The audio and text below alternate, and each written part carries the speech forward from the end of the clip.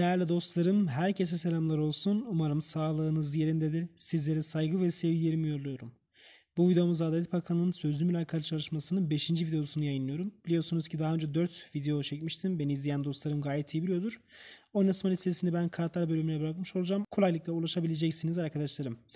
Adalet Bakanlığı'nın tüm mesleklerin tanımını yapacağız bu kez. Mesleki bilgileri saklanmış olacağım. Daha önceki videolarımda tanıtmalarla ilgili, inkılap ile ilgili veya diğer mesleki bilgilerle ilgili kısa kısa e, önemli noktalara değinmiştim. Ve hatta puan dağılımları hakkında bilgiler vermiştim arkadaşlarım. E, burada arkadaşlar mesleki bilginizin, ifade yeteneğinizin, inkılap tarihinin ve diğer genel kültür bilginizin iyi olması gerektiğini daha önceki videolarımda vurgulamıştım. Şu an mesleki bilgiden bahsetmiş olacağız. Çoğu dostlarımız şunu soruyor. Hocam infaz kurumu memurları tanıdıklarımız veya işte katip arkadaş tanıdıklarımız sözlü mülakata girmiş, deneyimli şu an görevinde olan kişiler soruların doğru bilip bilmediklerine çok bakmıyorlar. Sizce bu doğru mu gibi çok soru aldım arkadaşlar. Evet belki her şey soruyu bilmekle bitmez. Zaten ben de daha önceki videolarımda söyledim. Hani sadece soruyu bilmekle iş bitmiyor. Gerçekten ifade yeteneğinizin e, soruyu bilmediyseniz de nasıl bir aktarım şeklinizin olduğuna bakacaklar arkadaşlarım. Sizler ne kadar iyi olursanız aktarımınız, ifade yeteneğiniz, dikkat çekebildiğiniz noktalar ne kadar iyi olursa emin olun sizler için artı puanlarla beraber ilerlemiş olacaktır. O yüzden soruları bilmekle iş bitmiyor tabii ki. Sizler soruları bilmeden önce de ifade yeteneğinizi çok iyi bir şekilde güçlendirmiş olmanız gerekiyor. Bununla ilgili de bir video çekmiştim. Yine e, ben kartlar bölümüne bırakmış olacağım. Oradan ulaşabileceksiniz arkadaşlar.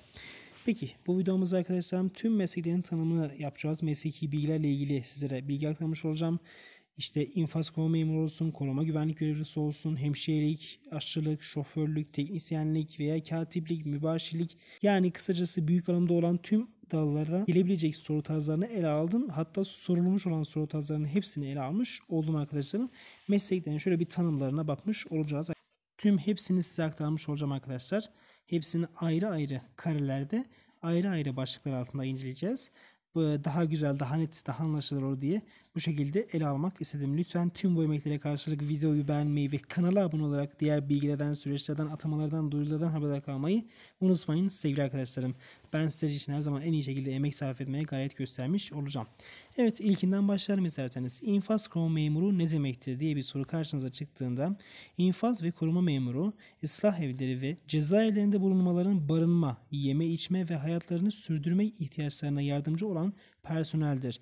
Bununla beraber infaz ve koruma memuru tutukluların topluma yeniden kazandırılmasına yardım eder. Çok güzel, çok sade ve çok net bir şekilde bir tanım oldu arkadaşlar. Bunu bu şekilde cevaplarsanız oldukça artı puan kazanmış olursunuz.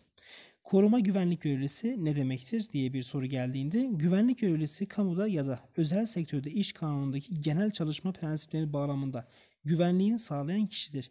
Güvenlik görevlisi işçi sağlığı, iş ve işçi güvenliği gibi konulardan da sorumludur. Güvenli ve sağlıklı bir iş ortamı sağlamakla yükümlüdür. Koruma güvenlik görevlisi yine çok sade ve güzel bir tanım oldu. Arkadaşlarım bunu bu şekilde cevaplarsanız gayet güzel ilerlemiş olursunuz.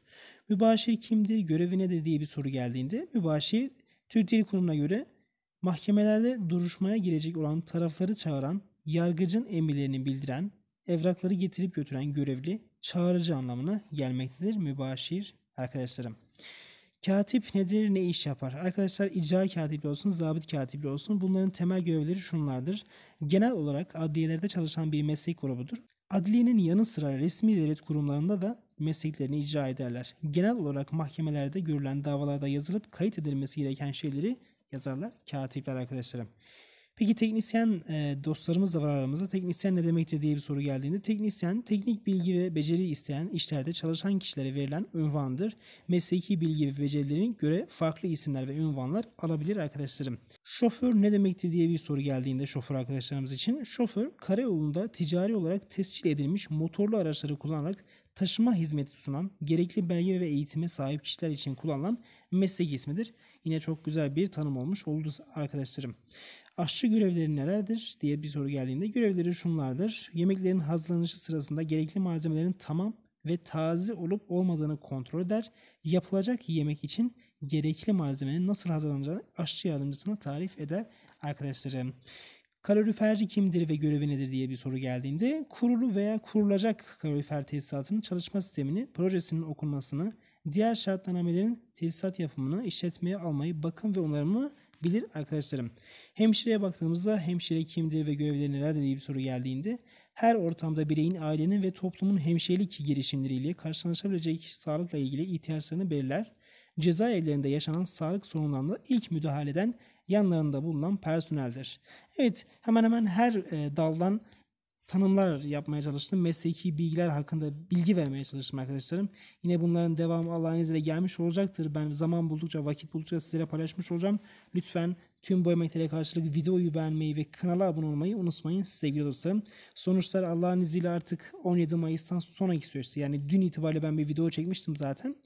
Dün itibariyle yavaş yavaş adliyeler duyurularını yapmaya başlayacaktır Allah'ın izniyle. Her dalda arkadaşlar sadece zabıt ve icra katibine ilişkin ertelenme kararı değil tüm dallarda hemen hemen sözlü mülakata gireceklerin listesi olsun veya herhangi bir başka bir alanda sonuçlar olsun artık dünden itibaren duyurular yavaş yavaş gelmeye başlayacak. Sizler hangi adliyeye başvurduysanız lütfen duyurular kısmına günde bir kez bakın. Ara ara bakın acaba açıklandı mı açıklanmadı mı diye. İnşallah tez vakitte duyurular gelir ve sizler de meraklarınızı gidermiş olursunuz diye umut ediyorum. Lütfen demiş olduğum gibi tüm bu emeklere karşılık videoyu beğenmeyi unutmayın. Kendinize çok iyi bakın. Sağlıcakla kalın. Hoşçakalın arkadaşlarım.